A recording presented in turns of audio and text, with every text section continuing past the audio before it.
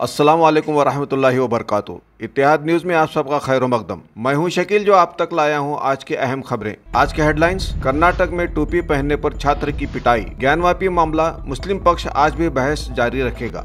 22 मुसाफिरों को ले जाते हुए तारा एयरलाइंस का नेपाल में हादसा।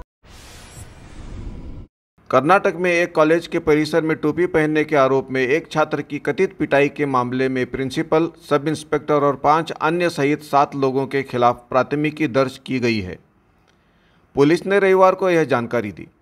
राज्य के बागलकोट ज़िले के तेरडाल पुलिस स्टेशन द्वारा स्थानीय बनहट्टी जेएमएफसी अदालत के निर्देश के अनुसार मामला दर्ज किया गया है।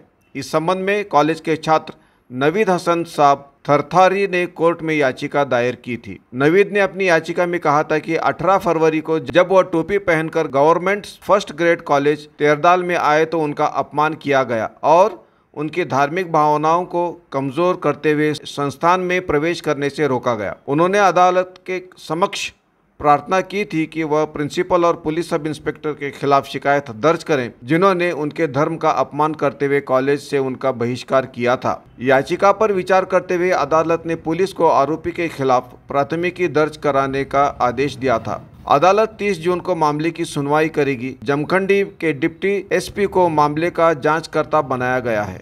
इससे पूर्व प्राचार्य ए एस पुजारा ने नवीद और उसके पिता के खिलाफ पुलिस में शिकायत दर्ज कराई थी और उन पर मारपीट करने और उसकी ड्यूटी में बाधा डालने का आरोप लगाया था।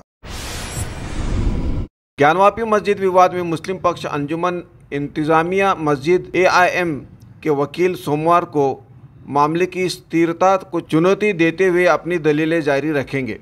26 मई की सुनवाई में हमारी टीम ने बताया था कि कैसे महिलावादी के दावों और मांगों की अनुमति नहीं दी जा सकती, क्योंकि उन्होंने अपनी याचिका के समर्थन में कोई सबूत नहीं पेश किया था, जबकि उनकी याचिका के कई पैराग्राफ में उनके कथन विरोधाभासी हैं। एआईएम अधिवक्ता अभय नाथ यादव ने कहा 26 मई को जिला जज ने सुप्रीम कोर्ट के आदेश के अनुपालन में मामले की सुनवाई शुरू की थी। वादी के वकील हरिशंकर जैन ने कहा कि उनकी टीम सोमवार को अदालत में होगी। हालाँकि उन्हें यकीन नहीं है कि एआईएम के अधिवक्ताओं की दलीलें समाप्त होंगी या नहीं, और उन्हें उनका मुकाबला करने का अवसर मिलेगा। एआईएम अधिवक्ताओं द्वारा यह भी उल्लेख करने की संभावना है कि ज्ञानवापी मस्जिद को सर्वोच्च न्यायालय के अन्य कानूनों और आदेशों के अलावा पूजा स्थलों के संरक्षण अधिनियम उन्नीस सौ इक्यानवे के तहत कैसे कवर किया गया है? याचिकाकर्ता दिल्ली की राखी सिंह और लक्ष्मी देवी, सीता साहू, मंजू व्यास और रेखा पाठक ने 18 अगस्त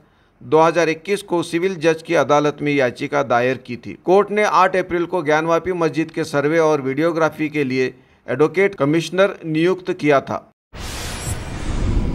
डबल इंजन वाला नेपाल का तारा एयरलाइंस जो 22 मुसाफिर को ले जा रहा था, वह प्लेन मुस्तांग के करीब उसका हादसा हुआ, जिसमें सभी 22 मुसाफिरों का इंतकाल हुआ। ऐसा वहाँ के स्थानिक लोगों का कहना है। उस प्लेन में तीन क्रू मेंबर्स को मिलाकर कुल 22 अफराद मौजूद थे। इन 22 लोगों में चार भारतीय मुसाफिर भी मौजूद थे, जिनके नाम अशोक कुमार त्रिपाठी, उनकी बीवी वैभव बांदेकर त्रिपाठी और बच्चे धनुष और ऋतिका मौजूद थे। देखते रहिए इत्यादि न्यूज़ जजाकल्ला खैर। Thank.